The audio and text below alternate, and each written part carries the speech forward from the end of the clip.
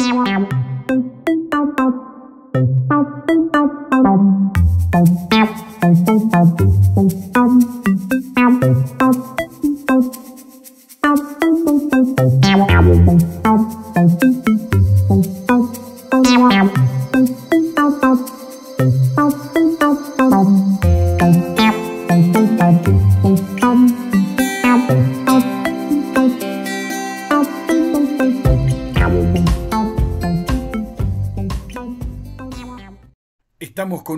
de Zárate. Cuidó los tres palos de Defensores Unidos, manteniendo durante muchos partidos, principalmente en el reducido, la valla menos vencida. Solo recibió un gol en contra. Es hijo de Zárate, como les dije. Su nombre es Fabricio Enricot. Llegó para hacerse grande y defender los colores que soñó desde chiquito, que quiso desde chiquito y que ahora los hizo ascender al Nacional B. Estamos en diálogo con el arquero del campeón. Este es un nuevo servicio de Multimedios El Debate para toda la comunidad. Ahora nos toca saludar a un zarateño, campeón, flamante campeón, eh, que cuidó los tres palos como nadie, tuvo una temporada extraordinaria. Nos recordamos aquel partido eh, donde fue fundamental para el empate ante San Miguel, después los dos penales que les detuvo a Cañuelas y esa volada increíble en el partido de ida con Armenio, es nada más ni nada menos que hijo de Zárate, Fabricio Enrico, gustazo saludarte, ¿cómo estás? Felicitaciones. Hola Daniel, buenas tardes. Eh, bueno, muchas gracias. Bueno, sabés que estás en la página de oro del club, ¿no? Ya. Sí, de a poco, con los días cayendo, eh, sabiendo que, que se hizo historia para el club y para la ciudad también. Sí, señor. Bueno, hablando de tu ciudad, eh, ¿en qué barrio naciste? Contanos un poquito. en Villa Carmencita. Viví un poco en todos lados, pero eh, Villa Carmencita, Smithfield, ahora actualmente estoy en, Villa Amazoni. Bien, viste que acá ah, en Zárate se conoce más el cerrajero que el arquero. Claro, sí. Sí, sí, la pregunta siempre es, ¿sos algo el de la cerrajería? claro. Bueno, vos le echás llave al arco, así que algo tenés que ver. Estamos en la profesión. Estamos, en la profesión. ¿Cómo se llaman tú? ¿Cómo se componía tu familia? Eh, bueno, eh, mi mamá, mi papá, que bueno, físicamente eh, no lo tengo hace algunos años, y dos hermanos. Un hermano más chico, yo soy el del medio, y mi hermana más grande. ¿Y alguien de la familia jugó al fútbol o fue arquero? Mi tío. atajaba acá en lo que es Liga Zarateña y eso. Y yo un poco también de, de chico, en medio que me contagié de él, lo acompañaba a él, él atajaba Náutico Arsenal, el, hermano de mi mamá. Y también de, verlo a él, creo que, que, fue un poco también el tema de, llegar al arco. Yo, yo arranqué jugando, era jugador, jugaba lateral o volante por derecha. De, hecho, de hecho, mi llegada a CADU, cuando yo me voy a probar, me preguntaban de qué jugaba y yo dije, delantero. Me dicen, ¿cómo es tu nombre? No, le digo, Fabricio Enricot dice, pero vos no sos el arquero de Náutico. Bueno, y ahí, y ahí terminé en el arco. ¿Y en qué año fue? ¿En qué año fue eso que te fuiste a probar a, a, Defensores? 2001. Eh, 2001. Eh, final de, final de 2001, sí. ¿Vos tenías? 11 eh, años. 11 años, chiquitito. Sí. Naciste el 26 de abril, ¿no? Sí, del 90. ¿Y quedaste en esa prueba en, en Defensores? Sí, sí, eh, ya, bueno, como se jugaban acá los, torneos de, verano, ya los, que se jugaban en diciembre, fin de ese año, ya, ya los estaba jugando y el año siguiente eh, ya integrando las infantiles, inferiores del club, eh, jugando los clubes de la ciudad, AFA, Liga Metropolitana, todo. O sea que vos por apellidos tuviste que ser arquero. No quedó otra. ¿Y quién fue el técnico que te dijo, no, anda al arco, pibe? Eh, el zurdo Bargaray, eh, Néstor. sí, Néstor. Sí, sí. sí. Eh, de hecho, cuando, cuando yo voy a firmar en el club, eh, ahora en junio, le contaba esta anécdota, bueno, a Diego, a, a Matías, a Ibrian. Sí. Y a los dos o tres días me mandaron una publicación del zurdo que, que decía algo de eso. Pensar que te traje al club como, como un delantero, no sé, y ahora, y ahora llegaste como arquero y se, se reía, hacía un chiste sobre eso. Zárate tiene eh, recuerdo de buenos arqueros y en, defensores también, ¿no? Eh, no es fácil ser arquero en Zárate. Eh, no, no, tiene tanto la ciudad, como lo decís vos, como, como el club ha tenido y han pasado eh, varios arqueros. Y bueno, eso también es una responsabilidad a la hora de, de defender la camiseta de, de defensores. Mm. Eh, y después de, de- de haber estado en las inferiores de, de- de- de defensores, te fuiste a, a Boca Unidos, ¿no? No, antes de eso hice un paso por las inferiores de Racing, Ah, sí, Racing, claro. casi, casi tres años y medio, Ajá, eh, hasta el 2000, 2021, perdón, hasta el 2011. 2011. Y después sí, entraste Claro, ya. después sí, después 2012 hasta 2017 Boca Unidos, de 2017 a 2019 Instituto de Córdoba, eh, el año, bueno, un año en Douglas, el, el torneo que no se termina por la pandemia.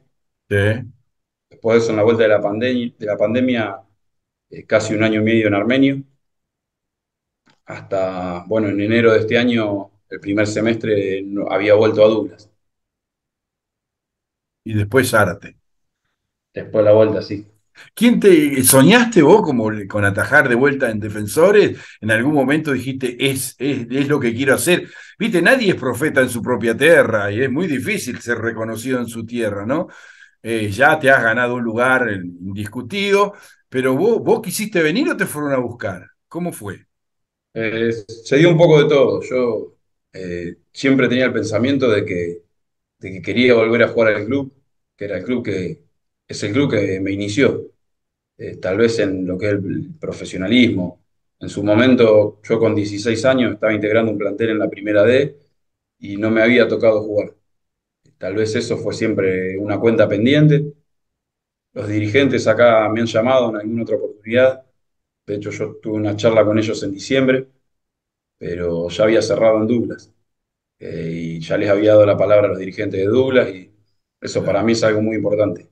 claro, Por más que no tenía nada firmado, la palabra ya estaba y, y bueno, eh, la cumplí como, como corresponde. Y ahora se dio todo por un poco de todo, yo quería volver, eh, tenía la idea de, de volver bien, de la, que la gente que me conoce me vaya a ver a la cancha y me vea bien, eh, que no sea un sufrimiento, sino todo lo contrario, que, de estar en buen nivel, de, de ayudar al club, de, de pelear cosas importantes y bueno, fue, fue un poco lo que terminó pasando. qué bueno. ¿Y tú eh, hiciste familia? ¿Tenés familia propia ahora? ¿Cómo, cómo, cómo estás? Eh, no, yo, bueno, tengo mi novia, pero no, no convivimos. Ella, Bien, por temas laborales, está, está en Buenos. Aires, en Capital, y yo, bueno, ahora por el fútbol estoy, estoy acá. Dedicado todo al fútbol. Eh, bueno, hablemos de la temporada. Eh, hace un rato estaba hablando con Sadel haciendo una nota y bueno, decíamos la muralla que le da tranquilidad a Fabricio. Eh, y en último caso, si ustedes fallan, está Fabricio. Y, es cierto, realmente hubo partidos donde se notó que había un equipo, que se trabajaba en equipo, principalmente la defensa. Tenés con la aparición después de, de Mauro, Maurito, que lo conocemos de las inferiores, realmente la, la defensa que tenés, eh, Fabricio, te, te, te satisface, te, te deja tranquilo a hacer tu laburo.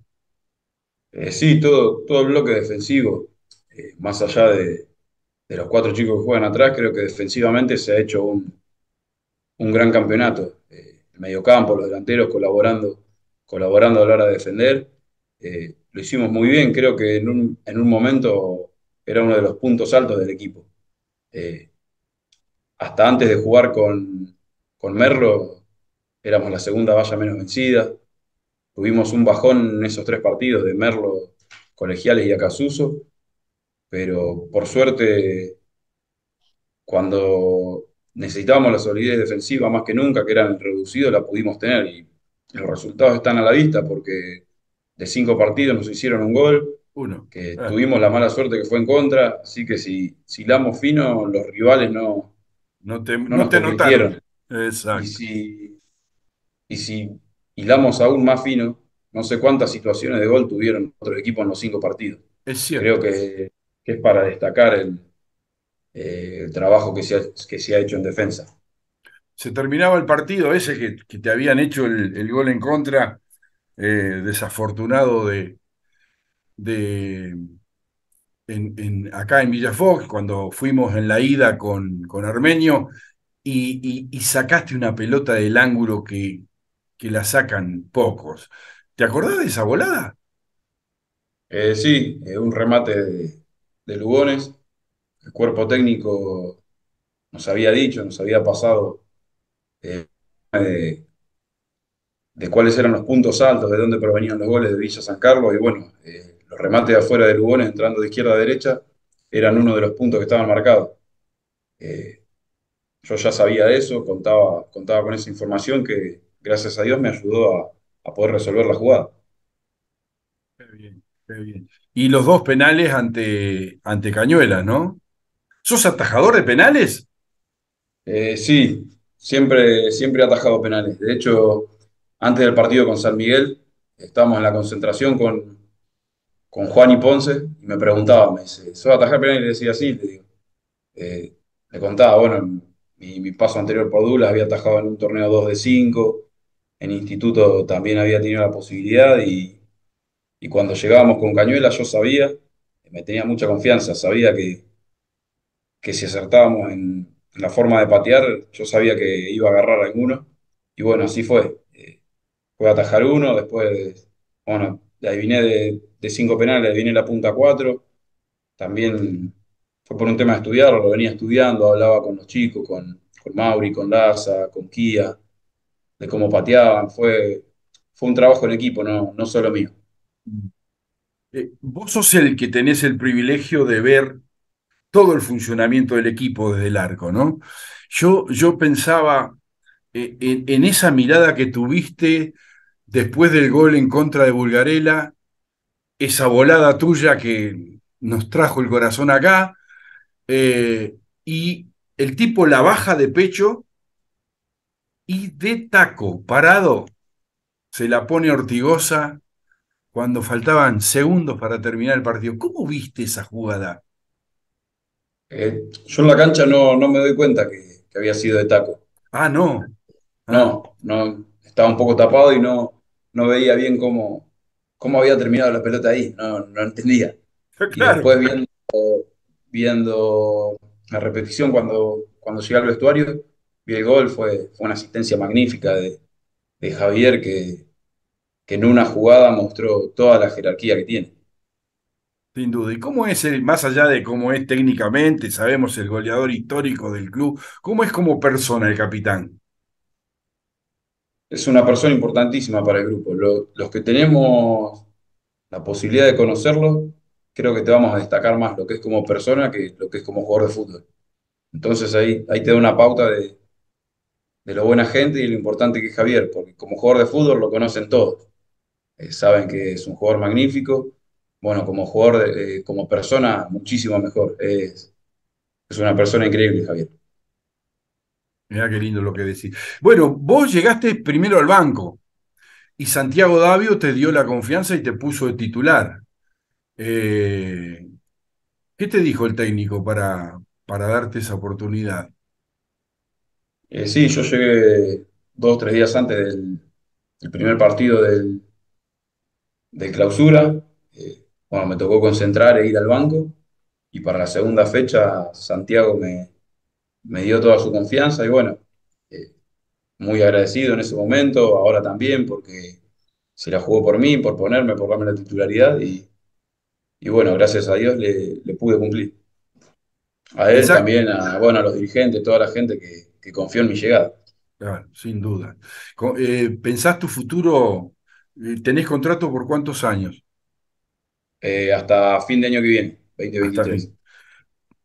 te ves jugando el Nacional, obviamente con Cadu, y, y, te sentís cómodo en Zárate. Sí, sí, eh, me encantaría jugar el año que viene Nacional B acá con el club, seguir haciendo historia, el primer torneo que, que el club lo va a jugar, eh, estar presente para mí sería muy lindo.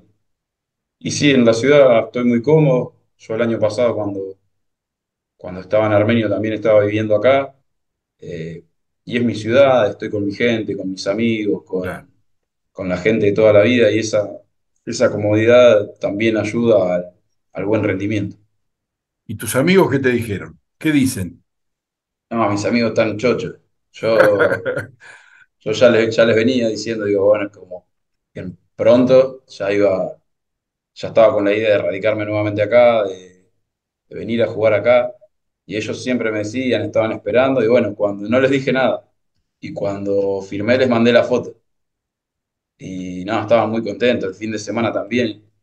Eh, para mí también, eso era una de las cosas por las que, por las que yo había decidido volver quería que, no sé cuánto tiempo voy a jugar, dos, tres, cuatro, cinco, seis años más, lo que sean, quería que, sea con mi gente presente, con, mis amigos, con mi familia, mi novia, toda la gente que, que me acompaña.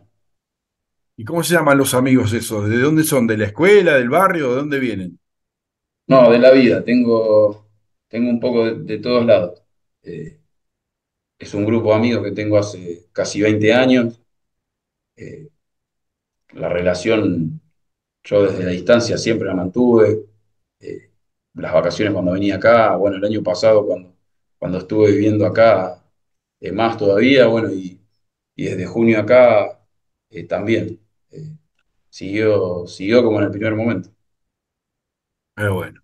Dijiste que lamentablemente hace un tiempito no tenés a tu papá físicamente para compartir este logro con él pero tenés dos mujeres, mamá y tu novia. ¿Cómo se llaman? Eh, mi mamá Rosana y mi novia Emilia. ¿Qué dijo Rosana? No, estaba muy contenta porque ella había dejado también de, ir a la cancha, eh, volvió ahora, volvió a verme ahora en el reducido, me volvió a ver contra Fénix, hacía creo que cuatro años que, que no me veía. Y también, bueno, ese apoyo ese apoyo se siente. Eh, todos los partidos íbamos viendo algún video, algún mensaje de la familia y, eso también es muy importante porque nos pone más presente que nunca eh, por la gente que cada uno juega. Eh, tal vez el día antes del partido te llegaba un mensaje, una foto de, tu mamá, de tu hermana, de tu novia, en mi caso de, mi hijada, de, mis amigos, de quien, de mucha gente, la, la gente que está siempre y eso también eh, te da fuerza para, para encarar una situación, ya sea buena o mala. Pero eso, eso también es, muy, muy valorable. Y Emilia es futbolera, es de Emilia me dijiste, ¿no? ¿Tu novia? Sí, sí. ¿Es, de ir a la cancha, de gritar, de, de, apasionarse? Sí, sí, sí, fue, fue casi todo el torneo. Ah, mira. Le gusta, sí, le gusta el fútbol. Eh, y sí, fue, fue todo el campeonato. ¿Y de qué equipo sos? Yo de Newell. Ah, mira. Bueno, ahí coincidís con Sadel, también es de Newell. Sí, sí, sí, El año pasado cuando, cuando nos enfrentamos en cancha de Armenio termina el partido y un saludo que nos cruzamos me dice, dice, che, me dice, así que vos también sos de la lepra. Y sí, digo, ¿quién te dijo? Me dice, no, acá los pibes, se ve que alguien del, plantel sabía y, y, bueno, está pendiente la, la ida a la cancha con el flaco. Y encima tienen Encima tienen un ídolo ¿eh?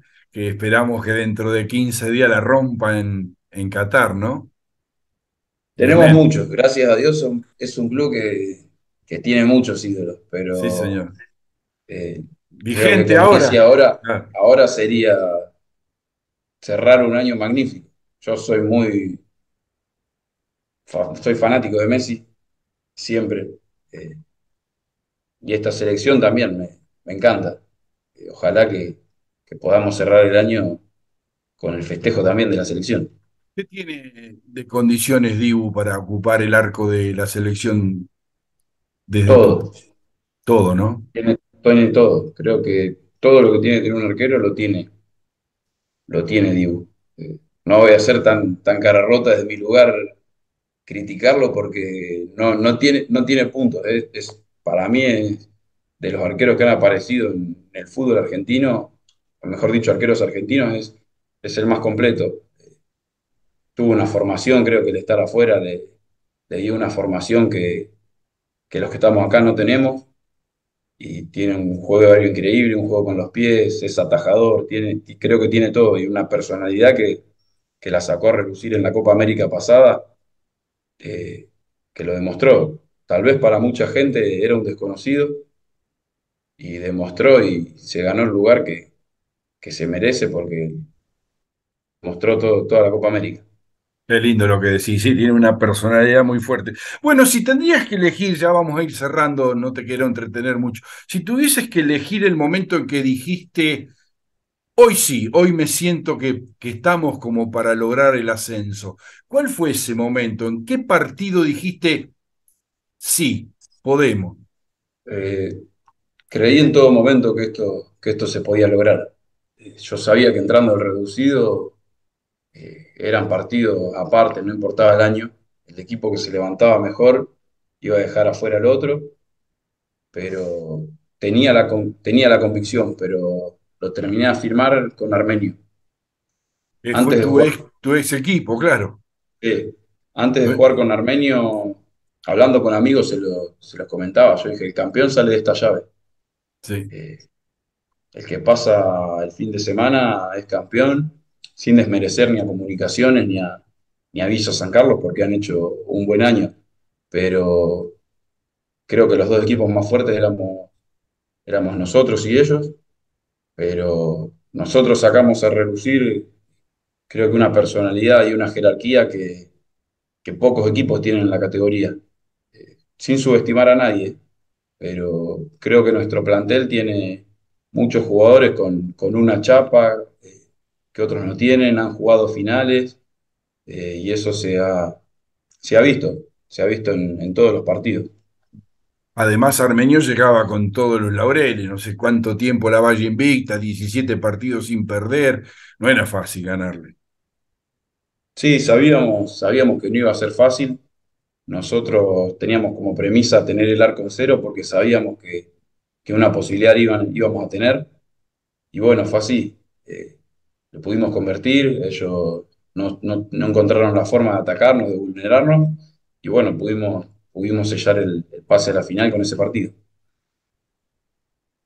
Fabricio, viste que cuando ocurre algo extraordinario, históricamente nos ubicamos en lo que estábamos haciendo en ese momento, qué sé yo, por decirte algo, cuando se cayeron las torres gemelas, cada uno dice qué estaba haciendo en ese momento. En el momento que suena el silbato y sabes que son campeones que ascendieron. Tu sentimiento, tu corazón, tu cabeza, ¿a dónde te llevó? ¿A quién viste ahí? A, todos los esfuerzos que fui haciendo durante el año, en mi carrera. Yo no había tenido la, posibilidad de ser campeón. Eh, me había quedado con Boca Unidos dos veces en la puerta de un ascenso a primera división y, y no quería que eso me vuelva a pasar. sabía que, que este era el año, lo, presentía, no, no sé, tenía algo adentro que me decía que este era el año. Y cuando estaba por sacar, yo antes de sacar le pregunté al árbitro cuánto faltaba y me dijo, me dice, ya está, sacás y terminás. Y termino, me dijo. Entonces lo, ya sabía que, ya sabía que, ahí se terminaba y bueno, y ahí se, viene, se vienen los recuerdos de toda la gente que te nombré antes. Eh, la gente que acompaña, que bueno, a mí no sé si me puso sensible el, tema de todos los mensajes, pero lo tuve muy presente a mi papá todo este tiempo. Eh, ¿El nombre de tu papá? ¿El nombre de tu papá? Carlos. Carlos. Carlos. Mm. Eh, lo tuve muy presente todo este tiempo a él. Eh, me hubiera gustado mucho compartir el momento con él, pero son situaciones de la vida. ¿no? sí, indudablemente. Pero seguramente lo habrás hecho muy feliz, no te quepas duda. ¿eh? Eh, yo te agradezco muchísimo, Fabricio. Eh, no solamente escribiste tu nombre en la historia de un club, sino que creo que casi no te conocíamos atajando acá. Te fuiste desde chiquito, eh, te estás ganando un pedazo del corazón de todos los, los zarateños con, con, tu, con tu perfil, con tu forma de ser. No sos un tipo agrandado, no sos, sos una persona de trabajo, sos, sos humilde, sos eficiente en lo que haces. Y, y, a mí me gustaría ahora, para terminar esta nota, dejarte libre eh, tu último pensamiento. Por ahí yo no te pregunté alguna cosa que vos tendrías ganas de decir o algo que sentís en este momento decirle a alguien. Eh, me gustaría darte esa oportunidad, micrófono libre para que te tomes el tiempo y digas lo que sientas. Eh, no, bueno, le agradezco a, a, toda la gente cercana a mí que este tiempo, que este tiempo me ha acompañado. Yo sé que cuando las cosas no salen soy, soy bastante insoportable y, bueno, esa gente por ahí se tuvo que, aguantar o, una mala cara mía o no querer salir o diversas cosas y siempre estuvieron todos, todos ahí conmigo. Cuando las cosas no iban, siempre un empujón para, para tirar para adelante. Eh, y bueno, eso, el, premio este no, es solo mío, sino de, de todos ellos también. Y bueno, también agradecerle a toda la gente del club, porque me han tenido en cuenta para, para llamarme, para que vuelva, vuelva este año, a todos los que, los que me han recibido de buena forma, mis compañeros, hinchas, dirigentes, todo el cuerpo técnico, toda la gente eh, del club me hizo, me hizo sentir muy a gusto. Eh, y bueno, ahora disfrutar.